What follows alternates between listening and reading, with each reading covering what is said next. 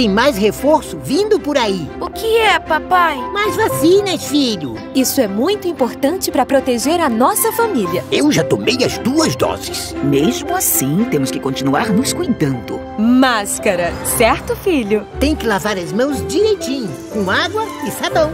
E nada de ficar muito juntinho. Assim, você cuida da sua família, da sua renda e do Brasil. Brasil unido por uma pátria vacinada.